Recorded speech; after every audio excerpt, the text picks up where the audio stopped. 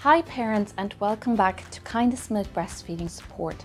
I'm Regina Kincaid, I'm a midwife, I'm an international board certified lactation consultant, a mom of four, soon to be five. My YouTube channel is all about breastfeeding support and getting breastfeeding off to a good start.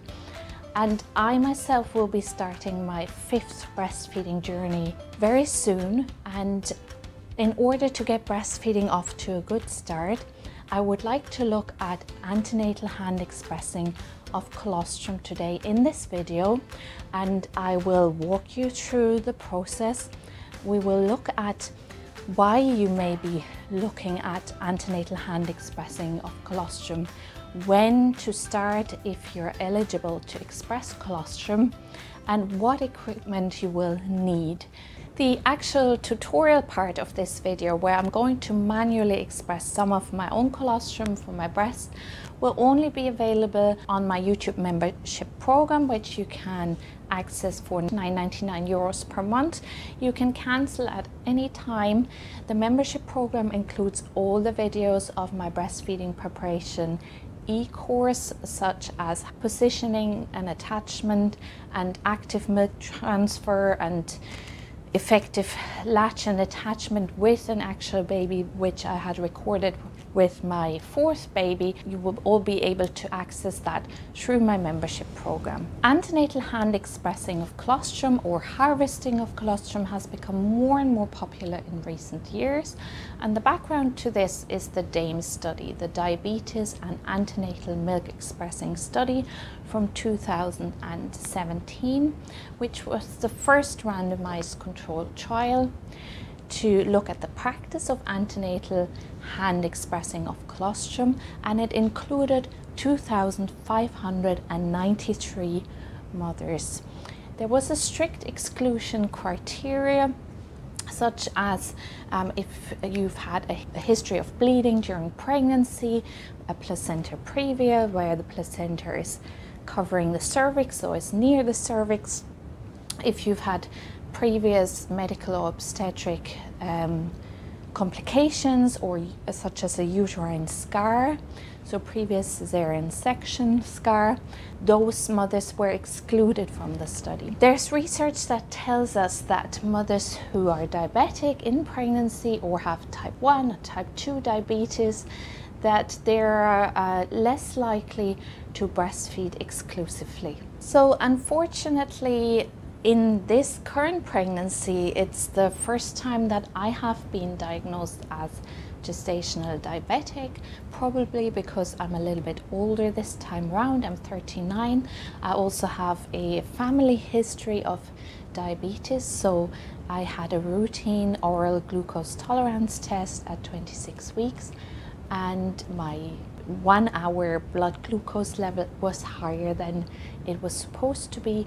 So since then I'm checking my blood sugars four times a day and I'm following a strict diabetic diet. And so far I've been very lucky to be able to control it with diet alone. Um, but nevertheless, even if your blood sugars are well controlled during pregnancy, when you're gestational diabetic, there is a small risk that after delivery, your baby may have problems with their blood sugars.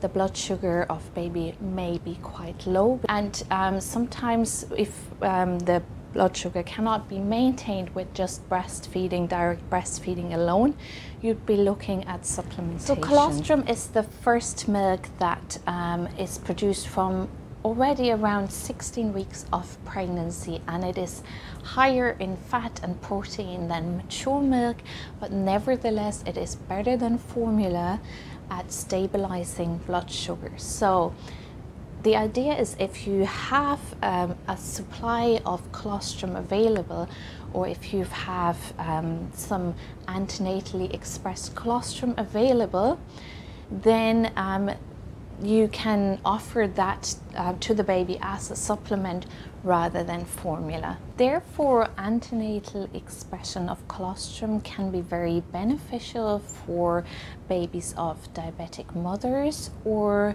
um, where there is a low birth weight baby expected, sometimes when you have to be induced because of um, growth restriction. In those circumstances, it can be very beneficial for uh, the babies and also to increase the chances of the mother baby pair being able to breastfeed exclusively. Of course, always check with your doctor, your midwife, your healthcare provider whether uh, you are eligible for antenatal harvesting of colostrum and also from which gestation, so from which week of pregnancy that they would like you to start. Of course, if you are planned um, to have a cesarean section because of breech or placenta previa, then it may not be suitable for you because um, with expressing of milk and nipple stimulation, oxytocin is being released, and oxytocin can also trigger Braxton Hicks or true contractions.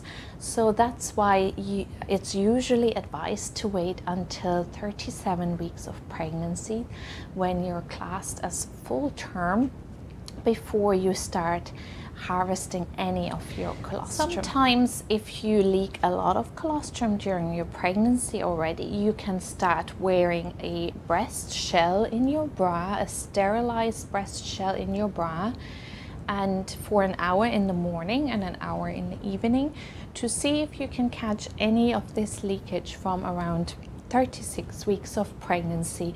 So you wouldn't actually manually stimulate your breast yet. Since you've sterilized the shell, you'll be able to then take a syringe and draw out the colostrum to um, store it in the freezer.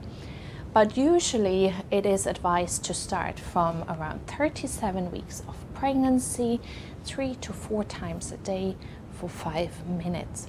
And I'll be also starting from around 37 weeks of pregnancy with the gestational diabetes comes also the higher risk of having to have an induction. So then um, at that point from 37 weeks, if the nipple stimulation uh, triggers some Braxton Hicks or some um, true contractions, then at that point it is a good preparation for labor as well. During the whole process of antenatal hand expressing of colostrum, you want to stay in close um, contact with your healthcare provider or your midwife and let them know as soon as you notice anything um, abnormal such as unusual pain or you start bleeding or your baby is not moving um, as usual, those are all red flags where you should contact your uh, care provider straight away.